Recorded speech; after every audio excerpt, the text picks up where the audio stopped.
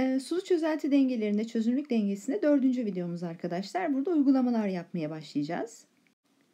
Neler öğreneceksiniz burada o zaman? Saf sudaki çözünürlük ve çözünürlük çarpımı ile ilgili uygulamalar, işlem soruları yapmayı öğreneceksiniz. Uygulamalara geçmeden önce nasıl bir işlem basamağı takip ediyoruz bundan bahsedeyim size kısaca. Sonra da bunu kullanarak uygulamaları yapalım. Klasik gümüş klorür katımızla başlayalım. Gümüş klorür katısının suda çözünme denklemi gümüş artı ve klorür eksi daha önceki videolarımızda da vardı.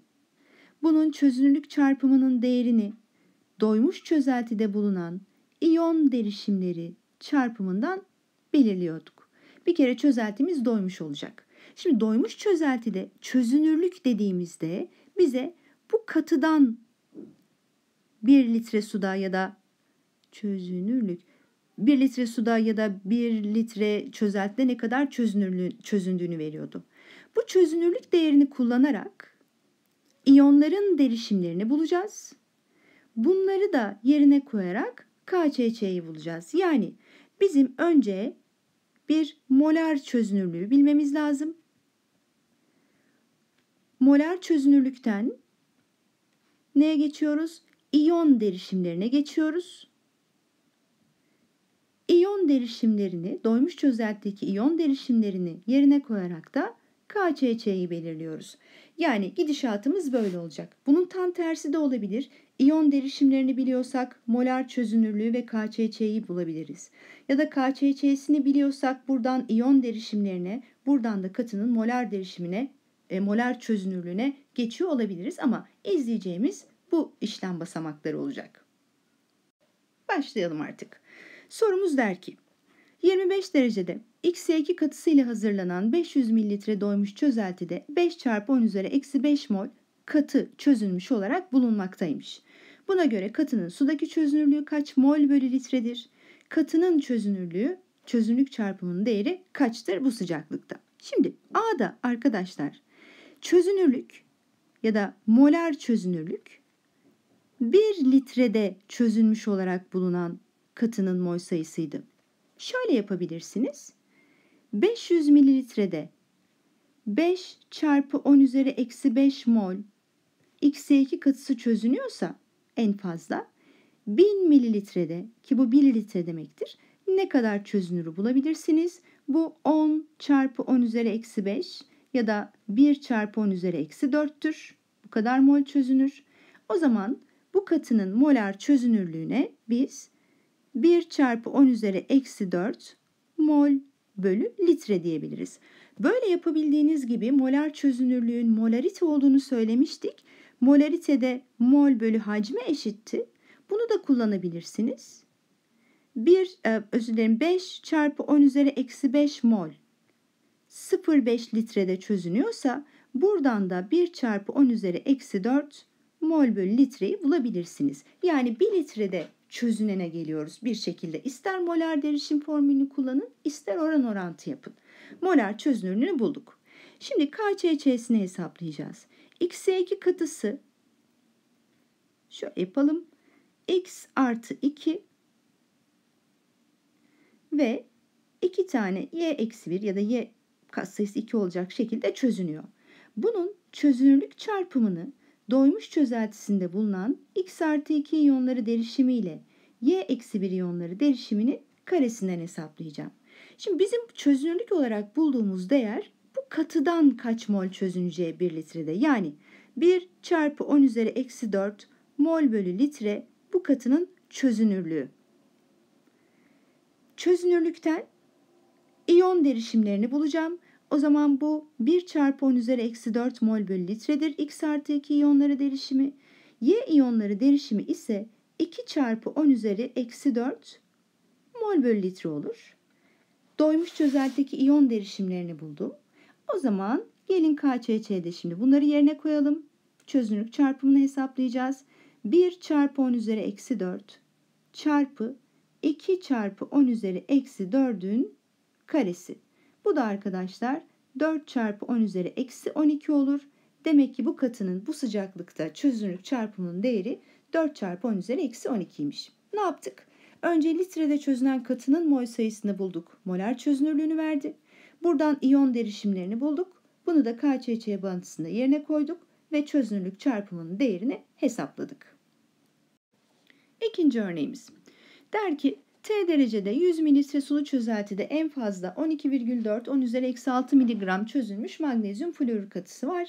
Çözünürlüğünü ve çözünürlük çarpımının değerini arıyoruz. Çözünürlüğü de molar çözünürlük olarak. Bir kere bize burada kütle miligram olarak verilmiş. 1 miligram 10 üzeri eksi 3 grama eşit. Mol kütlesi gram bölü mol olduğuna göre şunu grama çevirirseniz eğer bu değer 12,4 çarpı 10 üzeri eksi 9 gram olacaktır. Molar çözünürlüğünü bulmam için 1 litrede kaç mol çözündüğünü bulmam lazım. Önce şunu yapalım. Acaba bu kadar gram magnezyum florür kaç mol? Mol sayısını verilen kütle bölü mol kütlesinden ki mol kütlesi 62'ymiş bulabiliriz. Yani 0,2 çarpı 10 üzeri eksi 9 ya da 2 çarpı 10 üzeri eksi 10 molmüş. Pekala ama bu kaç litrede çözünüyor arkadaşlar? 100 mililitrede. Ben molar derişim formülü yerine oran orantıyla yapmayı tercih ediyorum. Ee, sudaki çözünürlük ya da molar çözünürlük litrede çözünen mol sayısıydı. Yani 1000 mililitrede ki bu 1 litredir. Ne kadar çözünür derseniz 10 katını alıyorsanız bunu da 10 ile çarpalım. 2 çarpı 10 üzeri eksi 9 mol çözünür. Bizim katımızın molar çözünürlüğü bu durumda molar çözünürlük litrede 2 çarpı 10 üzeri eksi 9 mol çözündüğüne göre 2 çarpı 10 üzeri eksi 9 mol bölü litre olur. Litrede çözünen katının mol sayısını bulduk. Bu da bize molar çözünürlüğünü verdi. Şimdi B'ye geldim. Magnezyum florür katısı suda magnezyum artı 2 ve florür iyonları vererek çözünüyor. 2F eksi dedim. Bunun çözünürlük çarpımının değeri doymuş çözeltisindeki magnezyum iyonları derişimi ile florür iyonları derişiminin karesinin çarpımına eşit. Biz çözünürlüğü bulduk. Çözünürlük katının mol sayısını veriyordu. 1 litrede çözünen katının mol sayısı. Yani 2 çarpı 10 üzeri eksi 9 mol bölü litre katının çözünürlüğü. Katının çözünürlüğünden iyon derişimlerine geçeceğimizi söylemiştik. 2 çarpı 10 üzeri eksi 9 mol bölü litre ve 4 çarpı 10 üzeri eksi 9 mol bölü litre doymuş çözeltideki iyon derişimleri. Şimdi gelin bunları KÇÇ'de yerine koyalım. KÇÇ neye eşit olacak arkadaşlar? 2 çarpı 10 üzeri eksi 9 çarpı 4 çarpı 10 üzeri eksi 9'un karesi. 16, 32, 32 çarpı 10 üzeri eksi 18 eksi 27 de KÇÇ değeriymiş. Ama bunu sorularda 3,2 10 üzeri eksi 26 diye görme ihtimaliniz daha yüksektir. Bunu da böyle yazayım. Ne yaptık? Litrede çözülen katının mol sayısını bulduk. Molar çözünürlük. Katının mol sayısından iyon derişimlerini bulduk. İyon derişimlerini KÇÇ'de yerine koyup KÇÇ değerini hesapladık. Bir diğer sorumuz. Belirli bir sıcaklıkta doymuş alüminyum hidroksit çözeltisinde bulunan hidroksit iyonları derişimi verilmiş 3 çarpı 10 üzeri eksi 9 mol bölü litre çözünürlük çarpımını bulacağız. Alüminyum hidroksitin suda çözülme denklemini bir yazalım arkadaşlar. Katısı alüminyum artı 3 iyonları ve hidroksit iyonları. Biz neyi biliyoruz şimdi? Baktığımda doymuş çözeltideki hidroksit iyonları derişimini biliyoruz. Bu 3 çarpı 10 üzeri eksi 9 mol bölü litreymiş. E hidroksit iyonları derişimi 3 çarpı 10 üzeri eksi 9 ise alüminyum iyonları derişimi 1'e 3 oran olduğu için 1 çarpı 10 üzeri eksi 9 mol bölü litredir. Şimdi size katının çözünürlüğünü de sorsaydı arkadaşlar bu değerlerden bir de bunun 1 çarpı 10 üzeri eksi 9 mol bölü litre olduğunu bulacaktık ki bu bize katının molar çözünürlüğünü verecekti. Bunu sormamış ama ben yine de söyleyeyim. Yani çözünürlük dediğimiz şey arkadaşlar 1 litrede çözünen katının mol sayısıdır. Bu bir kenarda dursun. Çünkü biz KÇÇ'yi kullanırken şimdi buradaki iyon derişimlerini kullanacağız. KÇÇ'si ya da çözünürlük çarpımının değeri doymuş çözeltide bulunan alüminyum iyonları derişimi ile hidroksit iyonları derişiminin küpünün çarpımı. Koyalım yerlerine. 1 çarpı 10 üzeri eksi 9 çarpı 3 çarpı 10 üzeri eksi 9'un küpü dediğinizde 3 kere 3 9 27 27 çarpı 10 üzeri e, eksi 36 çıkacak. Bu da bu katının çözünürlük çarpımının değeri olacak bu sıcaklıkta. Bir başka örneğimiz. Şimdi tersten gidiyoruz. Katının bize çözünürlük çarpımı verilmiş. Çözünürlüğünü hesaplayacağız. Bu katının bir suda çözünme denklemini yazalım. Stronsiyum karbonat şöyle Sr artı 2 ve karbonat iyonları verilerek vererek çözüyor. Tabi bu kökleri köklerin yüklerini bilmeniz burada önemlidir. Denklemi yazabilmeniz önemli çünkü karbonat eksi 2 yüklü bir çok atomlu katyondur. Birebir birleştikleri için de Sr artı 2 yüklü oldu. Çözünürlüğünü bilmiyoruz arkadaşlar ve bize bunu çözünürlüğü soruluyor. Biz bu çözünürlük değerine x mol bölü litre diyelim. Çözünürlük 1 litrede çözünen katının mol sayısıydı. Ne yapacağım? Bu çözünürlük değerlerini kullanarak doymuş çözeltideki iyon derişimlerini bulacağım ki x ve x olur. Katsayıları hep 1 olduğu için. Bu katının çözünürlük çarpımının değerini doymuş çözeltide bulunan Sr artı 2 ve CO3 eksi 2 iyonları derişimini çarparak buluyorum. Şimdi KCC'si verilmiş. Hatta ben şunu 625 yapayım. Karekök falan alacağız muhtemelen. 625 çarpı 10 üzeri eksi 12. Virgül kaydırdım arkadaşlar. Eşit olacak. X çarpı X'e. İyon derişimlerini yerlerine koydum. X kare 625 çarpı 10 üzeri eksi 12'ye eşit. Buradan x değerini 625 25'in karesidir çünkü 25 çarpı 10 üzeri eksi 6 mol bölü litre bulduk. İşte bu bizim katımızın molar çözünürlüğüdür. Hatta bu bize şunu verir. Çünkü diğer sorularda kullanacağımız bir değerdir bu. 1 litre çözelti de en fazla 25 çarpı 10 üzeri eksi 6 mol SrCO3 katısı çözünür.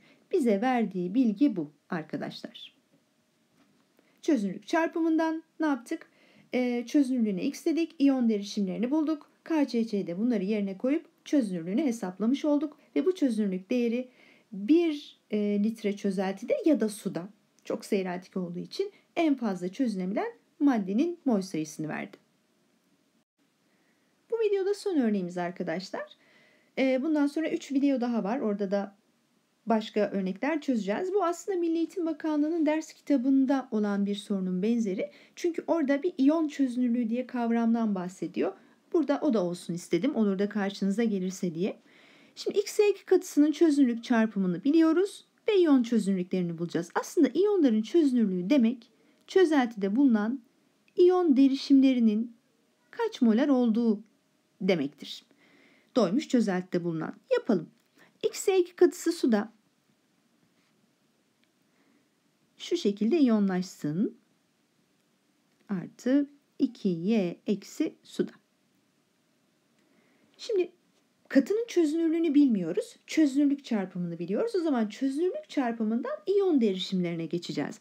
Bu katının çözünürlüğüne x mol bölü litre diyelim. Maksimum çözünen 1 litrede madde miktarı. A x deyince onunla karışır mı? Şunu A diyeyim ben arkadaşlar. A.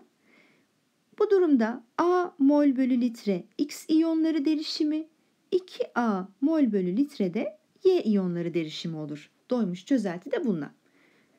Çözünürlük çarpımı X iyonları derişimi çarpı Y iyonları derişiminin karesi.